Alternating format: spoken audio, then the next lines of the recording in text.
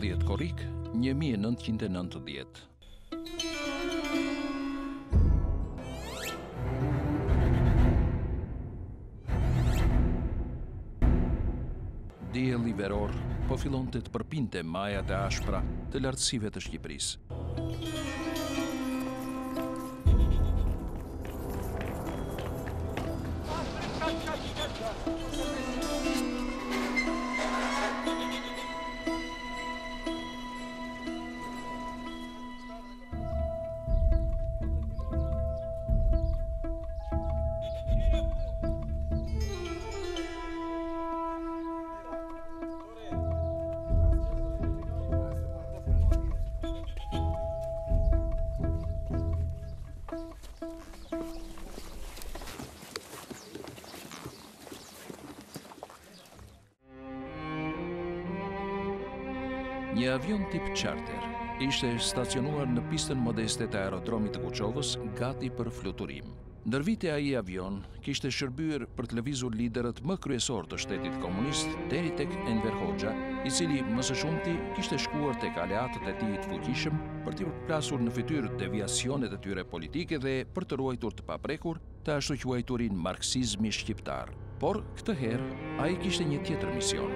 Pikërisht ai avion, në atë ditë vere, po sillte dimrin më të egër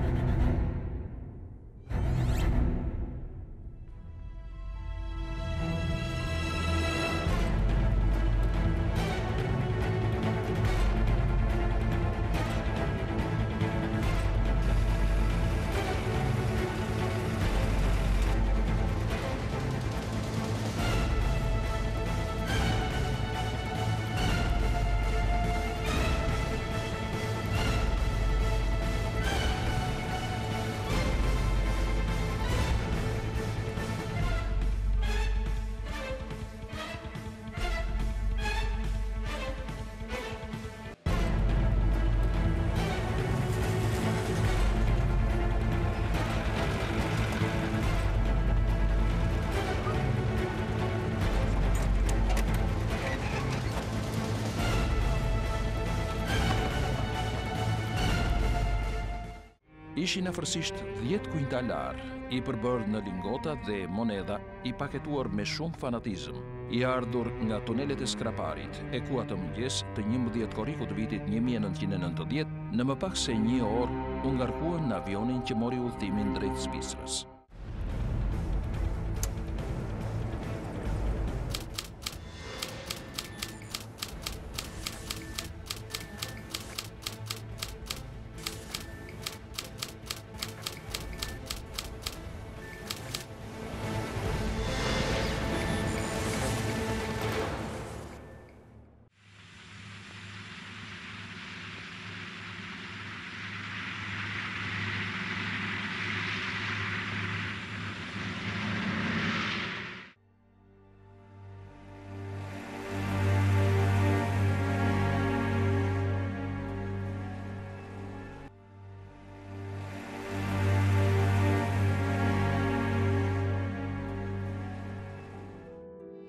Por çfarë kishte ndodhur që Shqipëria po çonte edhe grambët e fundit të floririt të thesarit të paprekshëm të shtetit, si të vetmen pasuri që i kishte ngelur për në bankat e botës? Kujt ja kishte këtë borç të fshehtë ky popull, i cili po sfilitej dhe nuk po shijonte kurrë shijen e mirëqenies? Gjithçka Mësohet vetëm së tashmi, ndërsa e deklarojnë vetë drejtuesit më të lartë të ekonomisë shqiptare të atyre viteve.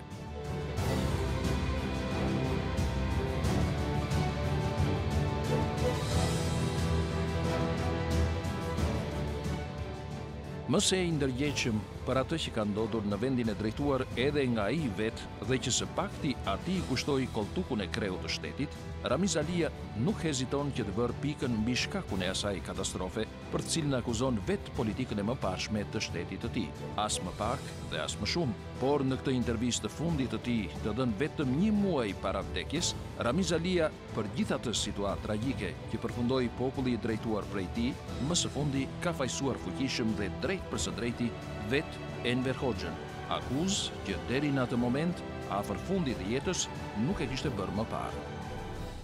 Natyrisht ishte një nxitim nga ana jonë, po e them unë, e kupton se në fund fundit për probleme, për probleme politike që i interesonin Kinës, të futeshim neve në konflikt me Kinën, ishte pak e tepruar, kupton, gjë që na dëmtoi ne.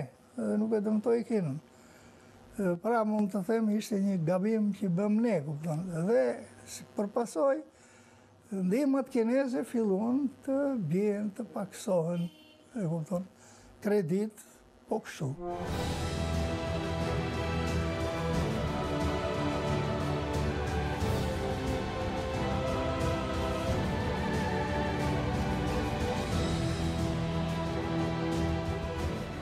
Ndërsa mbarë populli në mosnjohje absolute të së vërtetës katastrofike ku kishte përfunduar Shqipëria në dhjetë vitet e fundit, vijonte t'u këndonte me entuziazëm fitoreve të reja, ndërkohë që në të vërtetë në plot dhjetë vite vendi kishte nisur rrëshqitjen e pandalshme drejt humnerës katastrofike të urisë. Por ajo që është më e tmerrshmja në këtë histori të kobshme,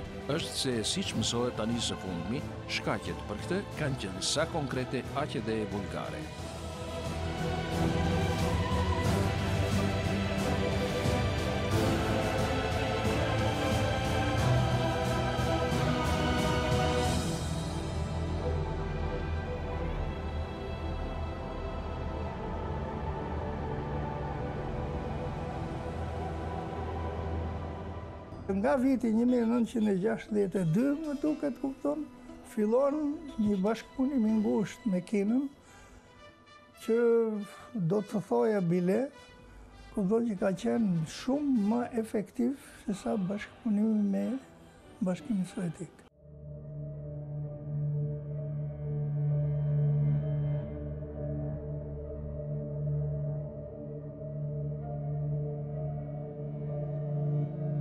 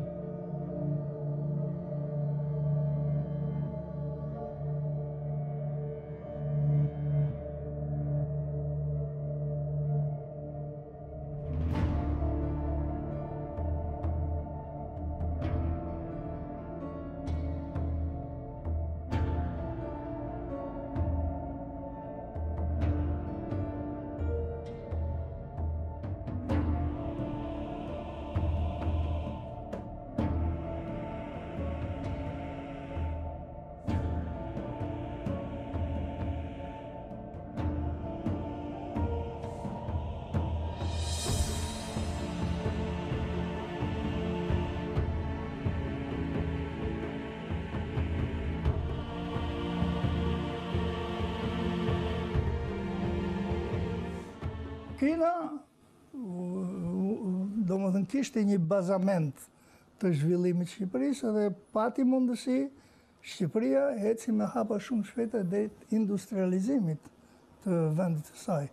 Se pas vitit 60, tek neve filloi ndërtimi i objekteve të me rëndësi shumë të madhe në fushën e industrisë, kam parasysh, por edhe vetë bujqësia. Nuk kaloi në një stad Tjetër, më të përparuar.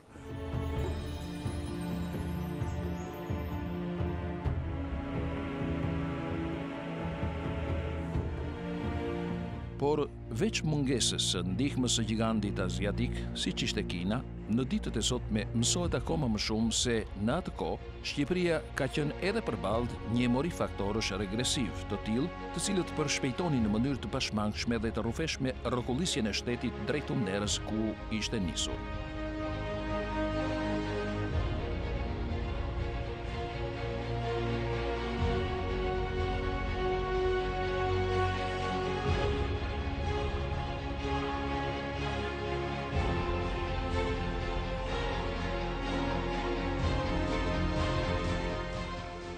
E kështu si të mos mjaftonin akoma edhe kufizimet kushtetuese, të cilat i kishin zënë frymëmarrjen ekonomisë socialiste, erdhi edhe një moment ogurzi për të.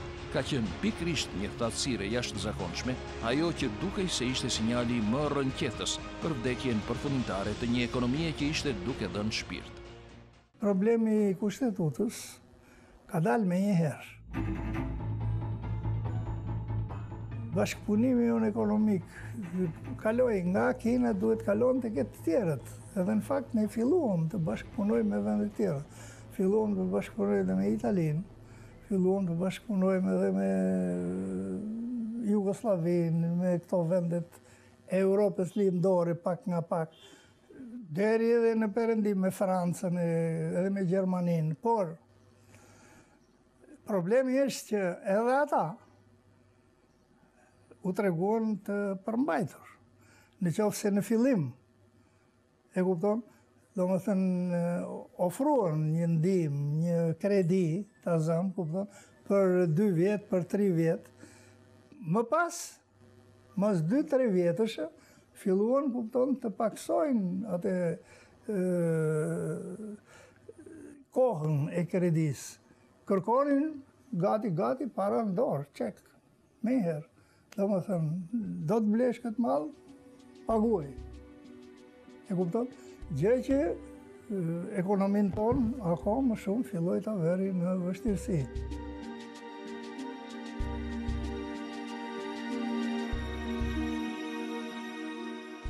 Njëherë pa import, s'ka import. E dyta, koncesione nuk jepje dot. Koncesione. Që te ne nafta nga eksportues u kthye në importues. se nuk po prodhonim, zbulimet nuk po ecnin. Atëherë si do të si do ta kapërcenim këtë punë? Gjitha këto ishin barriera të cilat nuk lejonin që ne të kapërcenim këtë në vend të ekonomisë. Prandaj kjo kartë ekonomike çoi në atë që çoi që ky sistem u dobësua, domethënë nuk përballonte dot atëherë Vajti drejt falimentimit.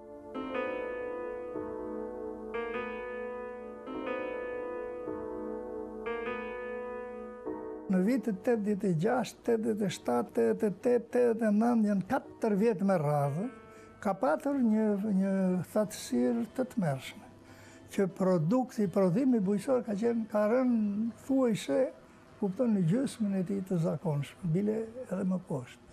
Gjë që e rëndoi jashtëzakonisht shumë ekonominë shqiptare. Se rëndoi direkt ushqimin e popullit. Pa le më kupton që paralizoi industrinë.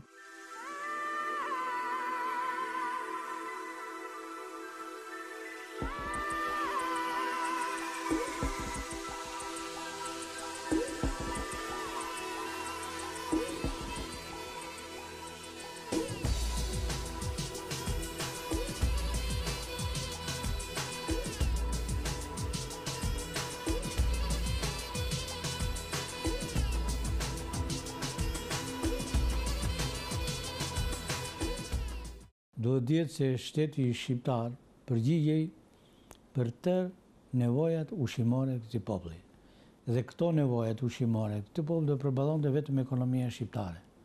Në rast se ekonomia shqiptare pësonte ato deficite që pësoi, kuptohet që situata është shumë e vështirë, në kuptimin se s'kishim burime të tjera. Në pesë vjet e fundit ne trashëgojmë një deficit shumë të rëndë, që po ta marr në bujqësi, që ishte kryesorja që përballonte ushqimin e popullit, përbënte një vlerë për rreth tetë miliardë e gjashtëqind e pesëdhjetë milionë lekë. Deficit kishim dhe në naftë, prodhime nafte. Mirëpo nafta ishte produkt për eksport. që të bëjnë prodhimet e tjera, ose industria minerale, kromi, kromi. Të gjitha këto vështirësi ekonomike që u krijuan nga deficitet e prodhimit kuptohet kishte ndërmjet tyre dhe faktorë objektivë, siç ishte thatësira e tejzgjatur e vitit tetëdhjetë e tetë,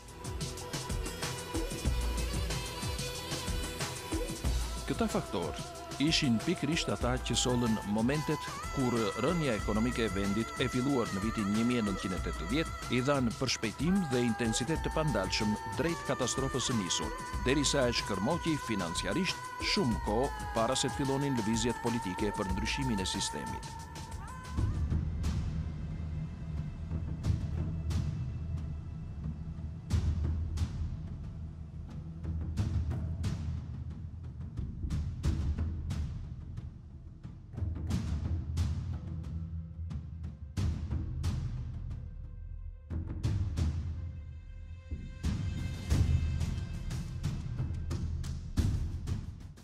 Pas vitit tetëdhjetë e tre situata u vështirësua më shumë, sepse kërkesat e popullsia rritej.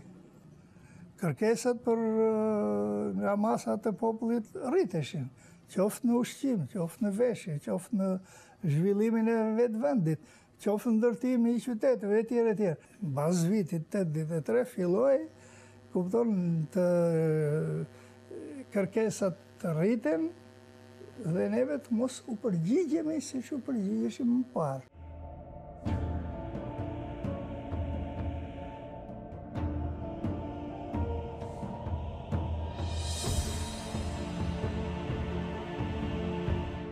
Unë e fillova detyrën në fund të vitit një mijë e nëntëqind e tetëdhjetë e dy. Periudha nga më të vështirat që kishte deri në atë kohë bilanci i të ardhurave dhe shpenzimeve nga eksport-importi në Shqipëri.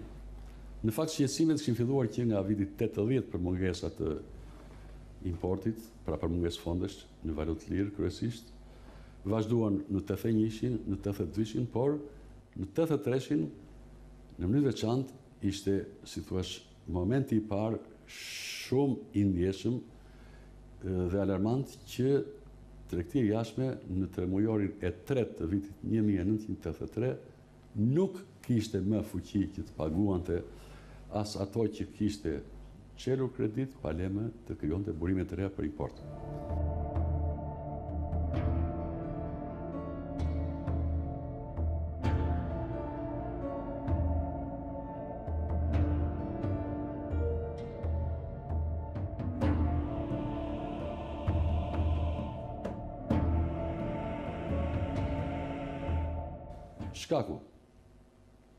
E para deficitet e mëdha në naftë, që ishin mallra të forta për shitje në valutë të lirë, sikurse ishte benzina, gazoili, bitumi e tjera.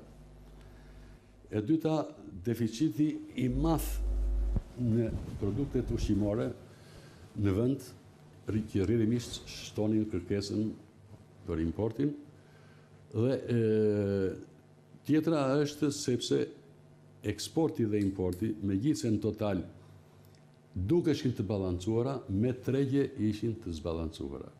Shitjet në divizë ishin më të vogla sesa nevojat për të blerë në divizë, pra në valutë të lirë.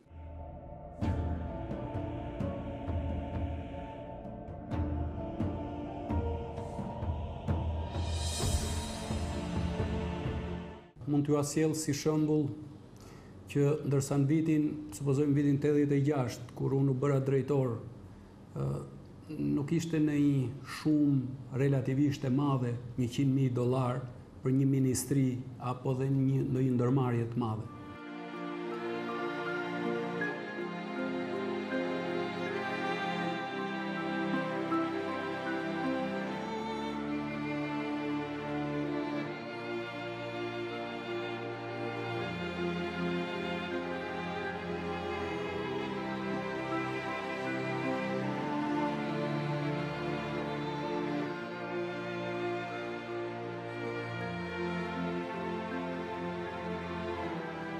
Me kalimin e kohës, sikur të marr vitin 90 afërsisht, ose 89, 90, 10.000 dollarë ishin shumë.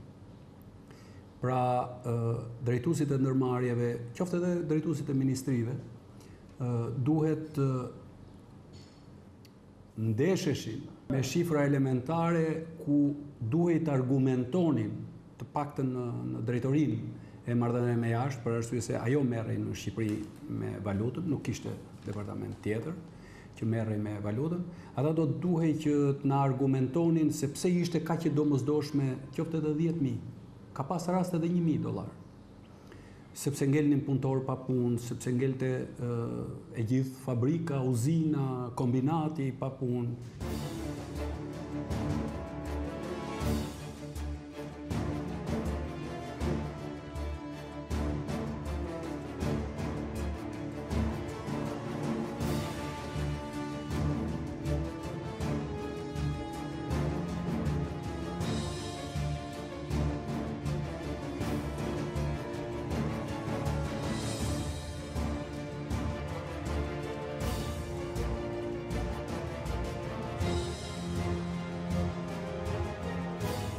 ishin kredo personale, kredo shtetërore,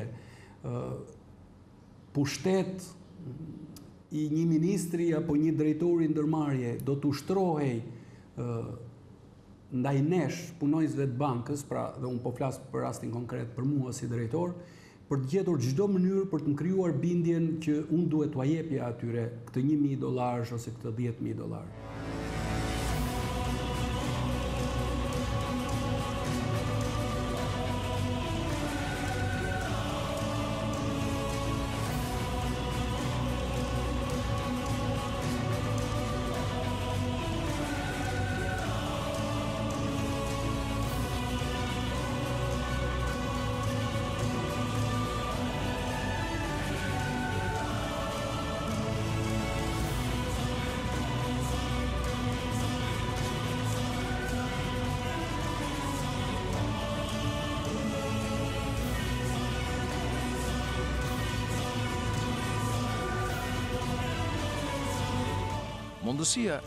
e momentit për drejtuesit më të lartë komunistë, të cilët tradicionalisht nuk i deklaronin aspak dështimet, dukej se ishte gjetur. Ata kthyen kokën nga rezervat e jashtëzakonshme, por, mesa mund të kuptohet, as ata nuk mund ta kenë menduar se ajo rrokullisje rrënuese nuk mund të ndalej vetëm me mënyra dhe parime të tilla, aq sa të përdorej çdo metodë për ndalje dhe ngushëllim, por vetëm që të mos informohej publiku. Kështu, sipas ideologjisë propagandistike, populli duhej me patjetër që të ruante bindjen se po ecte vetëm drejt progresit.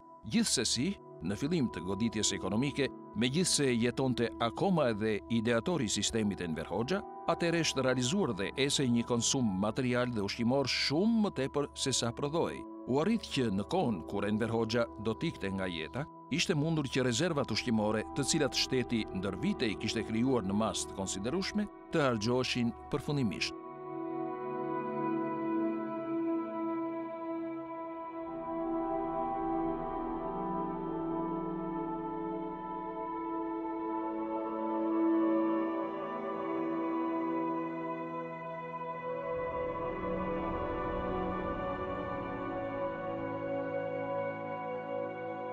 Atëherë, çfarë duhet të bënim? Kur thotë populli, të hanim nga mishtë tanë. Nga mishi jonë. Domethënë nga rezervat tona. Me idenë që po do t'i plotësojmë më vonë, kur të krijohet kjo mundësi, kupton. Pa dyshim ne filluam të shfrytëzojmë mundësitë tona. Domethënë diku rezervat tona, diku kupton edhe mundësi të tjera që na i nxirrte vetë prodhimi jonë, kupton. Se nuk është se ekonomia jonë nuk prodhonte. Ajo çdo ditë, çdo vit, çdo vit prodhonte dhe siguronte diçka.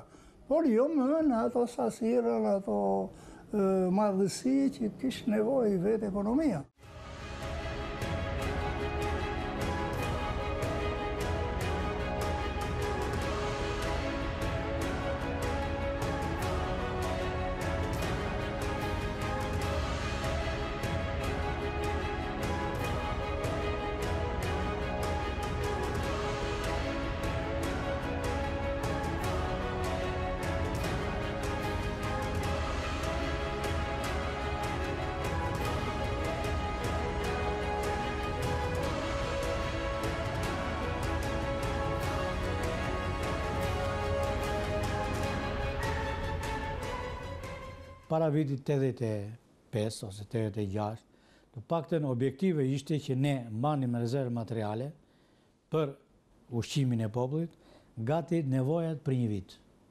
Për një vit bukë, për një vit oriz, për një vit sheqer, për një vit yndyrna, për një vit makarona, për një vit nevojat e tjera. I kishim rezervë materiale, gjendje. Natyrisht, deficitet që jepte ekonomia,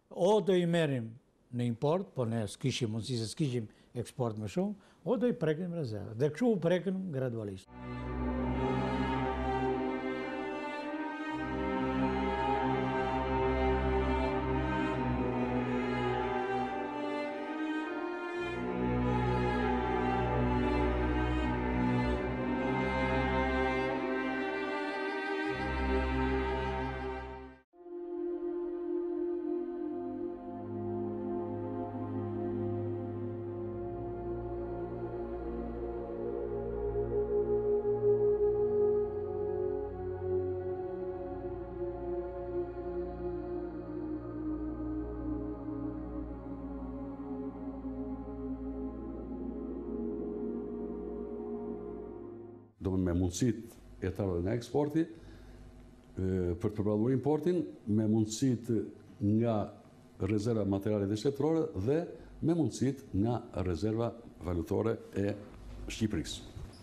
Dhe kjo bëri një zbutje.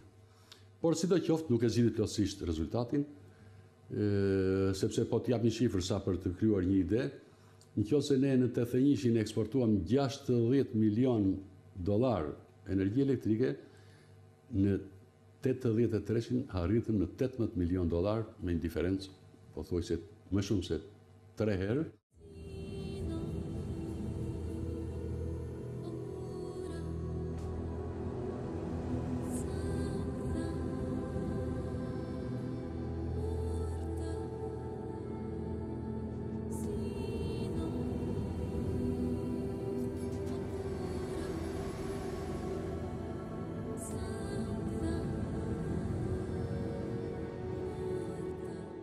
Unë nuk jam marrë, s'kam qenë specialist i ekonomisë dhe nuk i di shumë konkretisht të gjitha ato operacionet që janë bërë në këtë drejtim, por di që Ekonomistët tanë, shokët që merreshin veçanërisht kupton me ekonominë, kanë bërë përpjekje shumë të mëdha për të siguruar kupton burime të ndryshme në forma nga më të ndryshmet. Natyrisht duke përdorur edhe rezervat valutore që ka patur shteti ynë. Bile bile edhe floririn. që ishte rezerva e palujtshme e pasurisë shtetërore, në ndonjë rast e kanë përdorur me qëllim kupton që të siguronin. Po kjo ka ardhur veçanërisht në vitet e fundit, në vitet 90, kupton?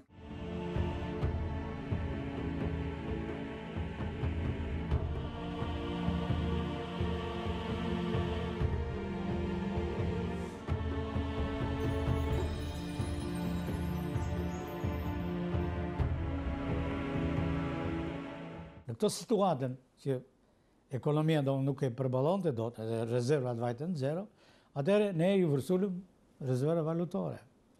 Rezervat valutore te ne ishin gati, unë e di kur erdha në Komisionin e Planit, që ishte atëherë kryetar i Komisionit të Planit, ishte në ato shifra rreth 50 milion dollarë. I kishim rezervë valutore, dollarë të lirë, i kishim, ruante banka. Dhe në vitin nëntëdhjetë kjo. Kjo në vend të vajte në pesëqind mijë gjëra hiçe, domethënë gjëra të parëndësishme. Pothuajse, pothuajse në nivelin minimal. Atëherë, duke qenë se këto dy burime, që ishin burimet kryesore, rezervat materiale, rezervat valutore, vajten në zero, Rrugë tjetër s'kishim, rrisnim pagesat e vonuara.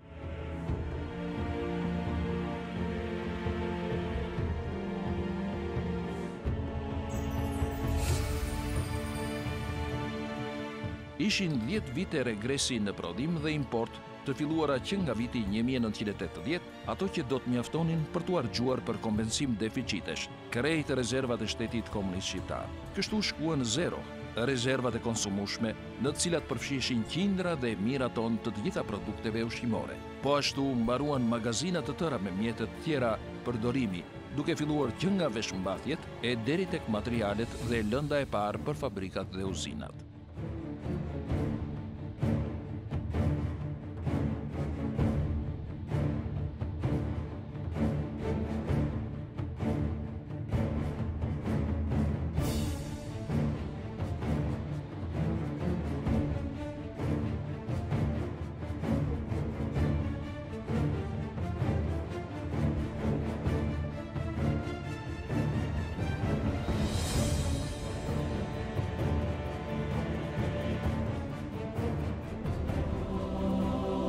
Atëherë, nomenklatura e kuqe iu kthye rezervës së paprekshme të shtetit në valutë. Por, me një vlerë importi prej pesëqind milionë dollarësh shpenzime vjetore, nuk do të vononte shumë që edhe kjo rezervë në mënyrën më normale të përfundonte si të tjerat.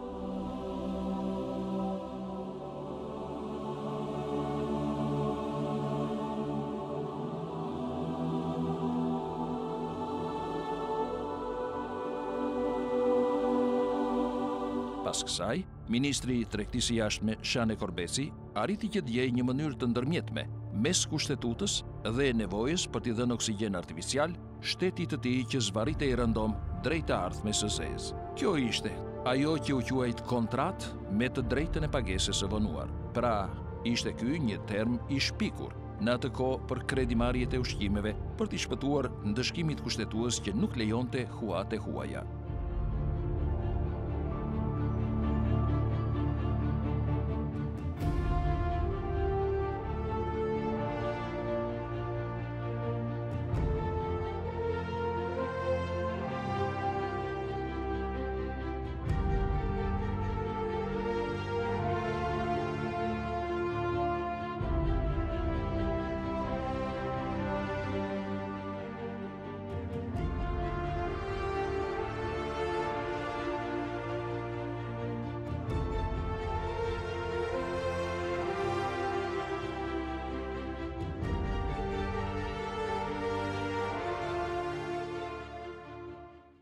Pagesat e vonuara është që lidhte kontratën ai ndërmarrjet e tregtisë së jashtme dhe i thoni që do ta pagojmë më vonë. Kish sanksione sepse kish interesa, por të paktën nuk kërkonte para dhe të jepte ushqime, të jepte lëndën e parë. Të jepte qymyrin e koksifikushëm që ishte lënda kryesore për industrinë metallurgjike, që po s'erdhi ai për 24 orë Ngrinte tërë ai shllami, tërë ajo teknologji që kishte, pra ishte miliona dëmtime, domethënë ngrihesh, dilesh jashtë përdorimit gjithë ajo, gjithë ajo vlerë, gjithë ajo pasuri. Në këtë aspekt, detyrimisht ne duhet të merrnim, pranonim këtë pagesën e vonuar, kuptohet që rritesh.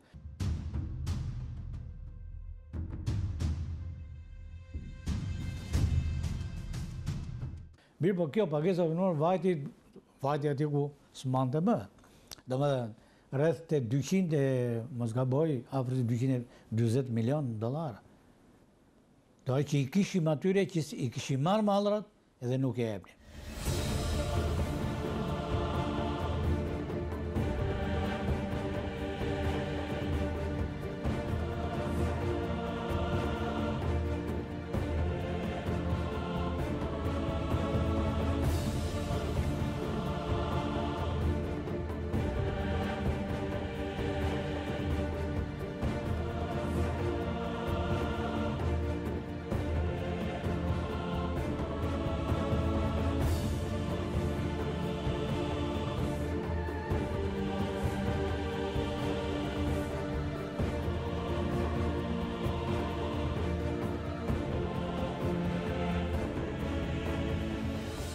Binim dakord që kontrata është kjo, malli është ky, vlefta është kjo, vinte malli në Shqipëri, po kishim rënë dakord që do të paguhesh mas 3, 6 apo 9 muaj simbas marrëveshjes me firmën. Që presupozohesh që ne gjatë asaj kohë do kishim burime të tjera valutore nga eksporti apo burime të tjera që Të arrinim ta bënim këtë pagesë.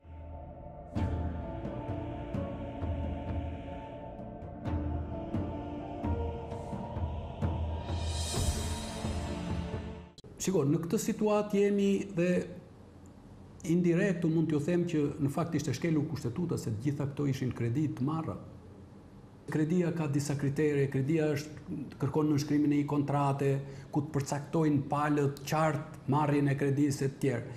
Por indirekt ne kishim marrë kredi në atë kohë. Pra nuk ishte ndonjë sekret, nuk është që nuk dihej kjo. Por mundoheshin gjithkush mundohej edhe unë që kam qenë teknik i asaj kohe që të gjenim një zgjidhje që të mos quhej mirëfilltazi kredi dhe të quhej shkelje e kushtetutës. Por Shqipëria ishte, pra ishte në borxhe, e, e, e, e thënë copë. Por, çfarë ndodhi? Që në vitin 1990, tregu i huaj nuk pranonte më asnjë lloj bisedimi me shqiptarët për problem tregtie.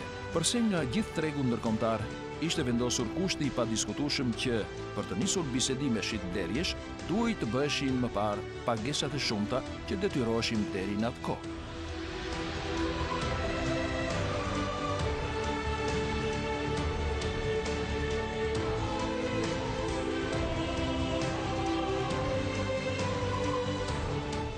shtetet e huaj filluan të mos japin kredi. Atëherë në bisedime me këto zyrtarët tanë të Ministrisë të Ekonomisë tonë, arritën në konkluzion që të japin kredi, kupton, me afate të shkurtra dhe me pagesë. Për shembull, të kalonte 3 muaj dhe këta të paguanim. Domethënë kjo kjo ishte ajo, si thua, kredi me afat të shkurtër. Kur ne nuk e paguanim, çfarë do bënte? Do ta shtyente, kupton.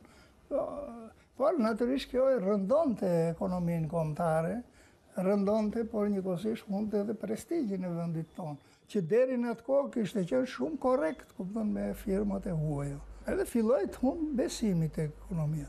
Ishte pikërisht kjo situatë, kjo situatë që në të cilën ishte Shqipëria në vitet 90, kupton.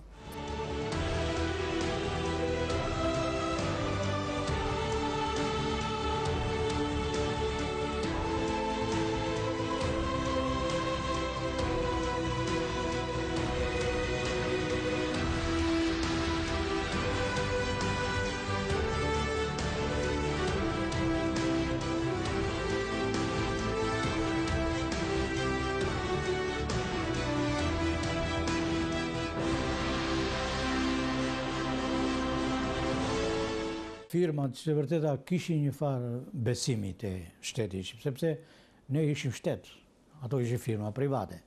Edhe mendonin që shteti nuk mund të falimentojë. Prandaj dhe i kanë dhënë dhe i jepnin. Mirëpo këtu nuk është puna se i dhanë një muaj, dy muaj, tre muaj. Po këtu vajti një vit, dy vjet, atëherë ata vunë në dyshim. Domethënë shteti ka mbaruar. Atëherë vuri veton ai që unë nuk t'i jap më, unë nuk lidh kontrata të reja, po s'më dhe borxhet e para. Jo borxhet e para t'i jap. Mirëpo ti vetë borxhet e para ku do gjenim? Çfarë do bënim? Prandaj përdorëm tani domthon ajo rruga e fundit që ishte floriri.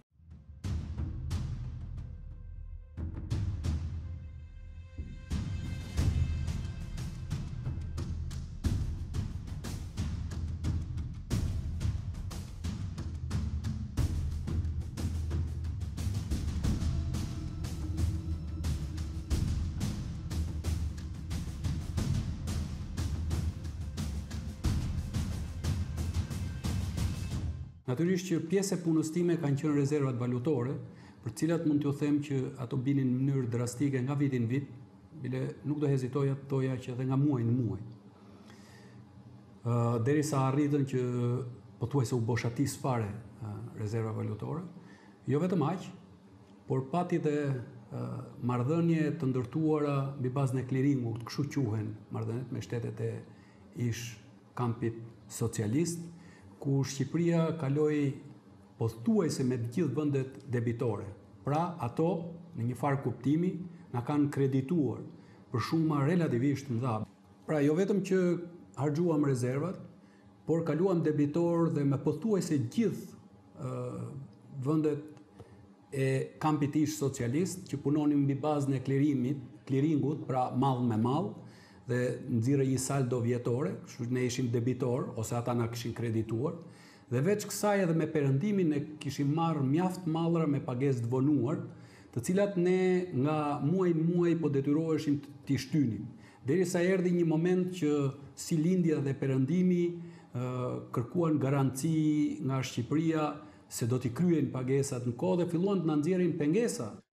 Por në fund të vitit nëntëdhjetë ne rezultuam me këto efekte negative. E para, kishim 220 milion dollarë mallra të mbërritura të papaguara për hir të marrëveshjeve që kishim bërë me firmat, që për mungesë të aftësisë tonë paguese, Ua kërkonim me pagesë të vonuar, mas tre muajsh, mas livrimit të mallit, mas gjashtë muajsh, mas nëntë muajsh, në nëntëdhjetën arritëm dhe mas një viti. Atëherë në këto kushte, tregtia e jashtme, edhe unë në krye të saj, ishim vënë para këtij fakti, që duhet të lëviznim me shpejtësi për të shikuar mundësinë e rritjes të eksportit aq sa mundeshim në përputhje me ato që do të ishte prodhimi në fund fundi. E dyta, të gjenim mundësitë që të merrnim përsëri mallra me pagesë të vonuar nga ato firma që kishim marrë dhe më parë, por pa shlyer detyrimin që kishim për mallrat që kishin mbetur dhe i vinte koha që duhej paguar Ndërkrimi, Këtu filloi blloku i parë. Firmat thoshin të japim me pagesë të vonuar, me kusht shlyej detyrimin që ke për atë që të kemi livruar dhe i ka mbaruar afati. Sepse, në qoftë se deri atëherë Këto firma që kishin pranuar pagesën e vonuar, siç mund të përmend Fina Grejnin, firmë shumëkombëshe me qendër në Zvicër, që merrnim grurin, merrnim vajin e lulediellit, merrnim sheqer, merrnim oriz, mish etj. Apo dhe firma greke Mamidoil që merrnim qymyrin e koksifikueshëm për kombinatin metallurgjik. Shlyej detyrimin e parë, thoshte. për pagesën e mallit që të kam bërë, sepse, jua thashë afërsisht, ne përfunduam në fund të vitit nëntëdhjetë me njëqind e dyzet milionë dollarë detyrime të pashlyera nga kontratat e realizuara me pagesë të vonuar. Dhe fundi, ishte tragjik. Ministri i Tregtisë së Jashtme të Shqipërisë së asaj kohe, Shane Korbeci, kishte ngelur pa asnjë mundësi blerje. Ai bridhte nëpër vendet e lindjes dhe ato të perëndimit për të kërkuar bukë për popullin e vet. Shtronte alternativa, bënte propozime të shumta me donatorët, por asnjë rezultat. Më së shumti, Ministri shqiptar i Tregtisë, i cili kishte humbur besimin e të gjithë tregut ndërkombëtar, po shtrinte me përulje dorën, madje kërkonte edhe limosh. Por, në të vërtetë, atë nuk e priste dhe nuk e takonte askush. Shteti i tij kërkonte asortimentet më të domosdoshme jo më për jetesë minimale, por së fundmi kërkonte vetëm për mbijetesë. Në Shqipëri kishte rënë zia.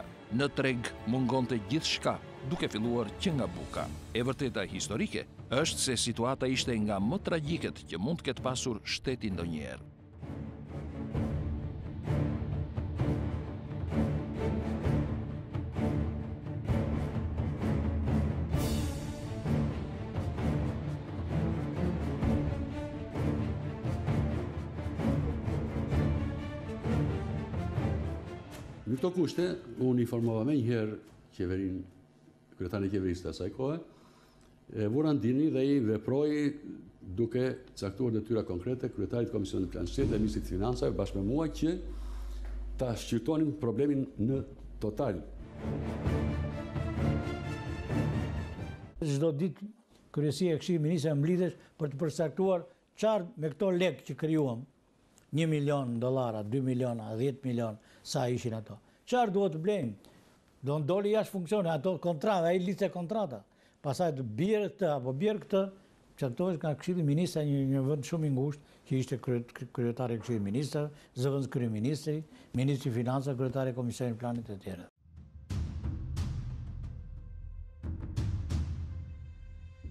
Në fund të vitit nëntëdhjetë, pra kur është bërë ky veprim, Veprimi është bërë sepse tregtia e jashtme donte fonde për të prurë për tremujorin e parë, për nëntëdhjetenjëshin i takon në këtë rast, grurin, donte vajin e lulediellit, donte orizin, donte sheqerin, donte mishin, donte pambukun, donte qymyrin e koksifikueshëm, megjithëse ne dërgonim grupet e punës dhe kishin shkuar grupet e punës, që nga përfaqësuesit ndërmarrjeve që nga shtatori, tetori, nëntori, dhjetori, në këto muaj edhe unë njëkohësisht lëviza në shumë shtete për të gjetur mundësi për të rritur eksportin dhe për të siguruar importin, por problemi mbetesh shumë i mprehtë në valutë të lirë për faktin që ne detyrimet i kishim të mëdha dhe nevojat i kishim përsëri të mëdha. Të cilat në të... tregu ishte bosh, fal. Tregu nuk duronte që të vonohesh qoftë edhe një javë gruri, se mbetesh populli pa bukë, Tregu nuk pranonte të vonohesh një javë apo 10 ditë dhe sheqeri se mbetesh pa sheqer. Tregu për të tërë këto mallra ishte në fije të perit. Domethënë duhet të ishte sahat omega që të përputhje nevojën që kishte ekonomia me mundësitë e fondeve të krijuara që ishin shumë pak, Dhe me kohën e livrimit, që të mos krijohej ndërprerje. Ndërprerja pastaj do të ishte si gjendje e jashtëzakonshme. Në këto raste, ne vumë si zakonisht në dijeni kryetarin e qeverisë, që gjendja është kjo. Situata është alarmante. Situatë më të vështirë shteti se deri tashti nuk ka pas. Pra arritëm te floriri, domethënë, që ai tha, Unë rezerva e shtetit s'po më jep gjë. Se duhet të bie grurë në çmimin tonë. Rezerva s'ka. Rezervë valutore qeveria s'kish më. Atëherë çfarë mbeti? Ata të pagesat e vonuara që kontratat që kish lidhur nuk i jepnin. Nuk e realizuan. Pra u bllokuan. Pikërisht këtu u ai arritja e kulmi, sepse me ato ne e zgjasim disa muaj, disa ditë. Aty tak u bllokuam. Atëherë çfarë do bëjmë?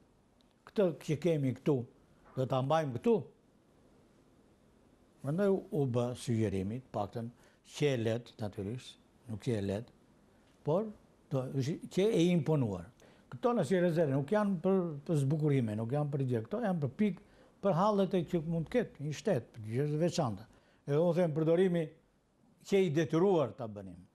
Se do bëjnë dy gjëra, o do linim njerëzit pa punë siç i lamë, se s'furnizonim dot industrinë, edhe me mijëra punëtorë i kishim gjithë në punë, po merrnin pesëdhjetë për qind të pagës ose tetëdhjetë për qind të pagës. Edhe nuk i kishim siguruar, siguronim lëndën e parë që të punonin ekonomia. Po po s'punoi ekonomia, Mbaroi furnizimi i popullit.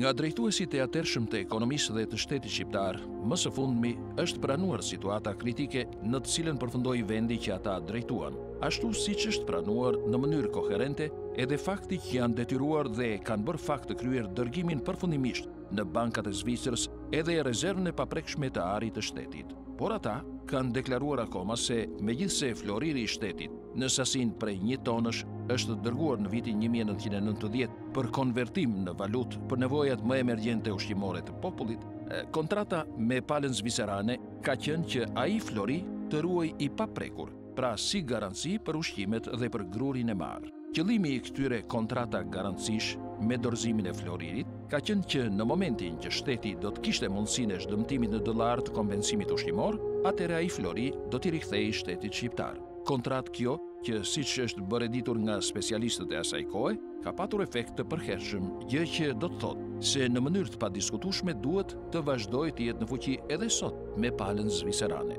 Por kryeekonomistët e asaj kohe kanë qenë të bindur se kjo lloj kontrate ishte një farsë për vetë faktin se ata nuk besonin kursesi se mund të kishte rrugëdalje tek ekonomia e një shteti të tillë që ishte e centralizuar dhe që edhe në marrëdhëniet e tregtisë funksiononte me kufizime të rrepta kushtetuese.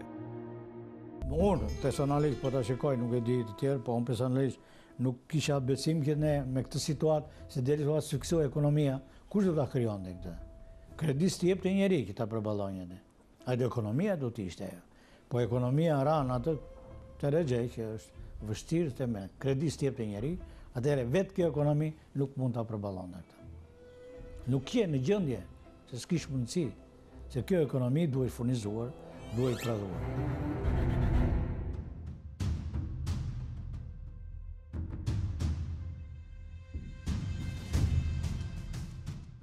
Fabrika e rafinimit të bakrit dhe nxjerrjes së floririt ka funksionuar deri në vitin 1999. Pas vitit 1999, Ajo ka pushuar së funksionuari.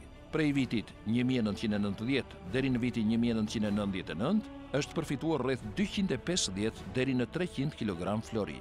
Në vitin një mijë e nëntëqind e nëntëdhjetë e katër, floriri është transferuar nga tunelet e sigurisë speciale të Skraparit për në tunelet e Krrabës, të cilat nuk kanë patur destinacion mbajtjen e floririt. Në këtë periudhë ka ndodhur